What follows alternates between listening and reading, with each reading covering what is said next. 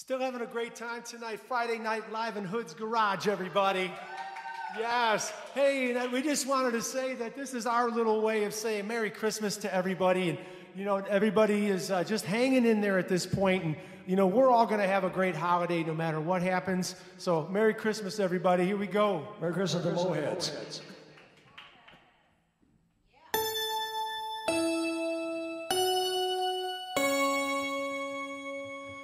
Bells will